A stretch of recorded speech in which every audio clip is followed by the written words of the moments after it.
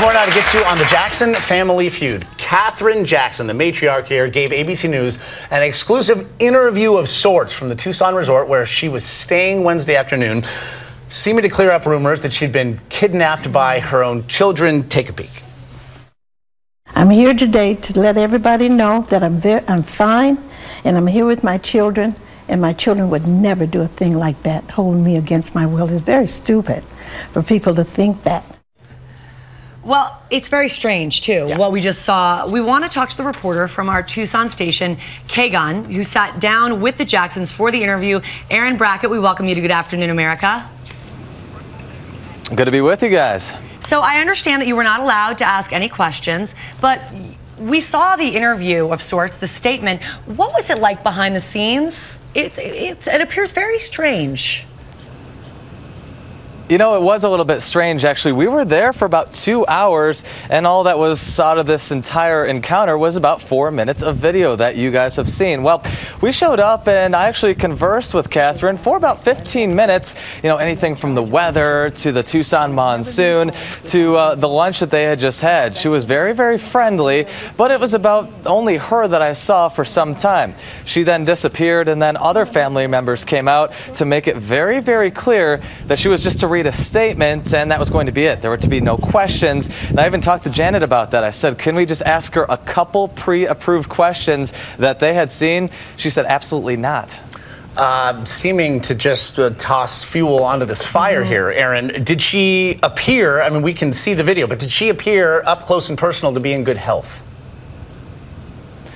Uh, to me, she did actually. Those 15 minutes I was talking to her when I first arrived, she was actually standing and walking around, and we were talking around this villa.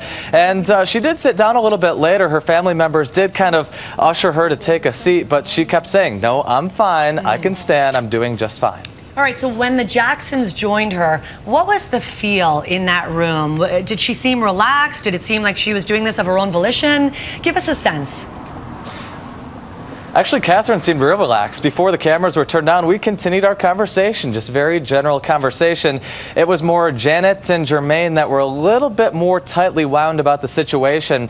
And as Katherine read the statement, she did stumble on some parts and also got a little bit off topic. She had about two pages written down, handwritten in a notebook, got a little off topic, and that's when uh, her other family members kind of stepped in over her shoulder and uh, helped her out, helped her keep on focus. Help is one word for it. Aaron Brackett, again, from our affiliate there in Tucson, KGUN. We appreciate your time today, Aaron. Absolutely. Thank you, guys. We want to welcome our two guests now. First, uh, from People Magazine, reporter Carlos Greer and the editor in chief of HollywoodLife.com, Bonnie Fuller. And uh, Bonnie, there are certainly a lot of ways to categorize what we saw first this morning and again right there. What is your reaction to it all? Completely and utterly bizarre. She looked very uncomfortable. Why was she reading from a statement? I mean, I think she doesn't want to get half her family in deep trouble. Right. She she's trying to protect them, but I think she knows that they've done something wrong. So I think she I, I think she wasn't looking like a hostage, but But- but she was very guarded, and they looked like they were guarding her. Do you think those were her words or written for her? I think they were written for her. But I think they're words of protection for her kids.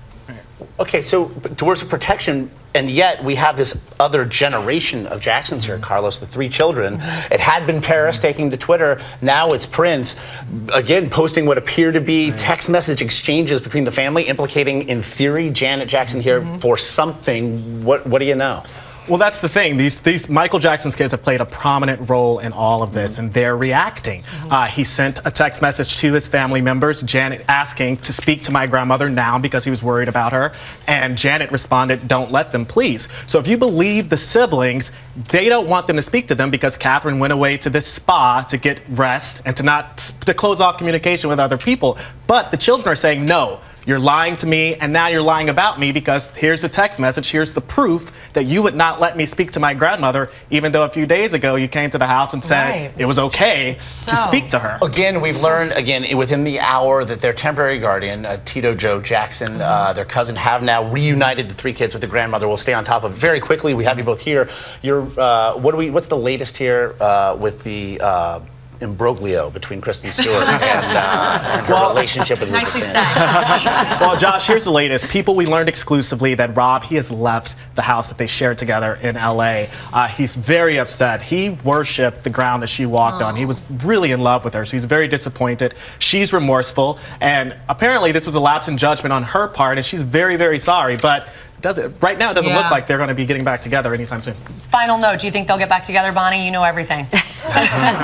I do. I think um, what we've heard at Hollywood Life is that he's angry, he's frustrated, and he's humiliated, which of course he should be. But he loves her, and they have met. It was very awkward. I think she'll get him back because he does love her, and he's been in love with her for years. All right, you heard it here first, everybody. Bonnie, Carlos, we thank you so much for your insight.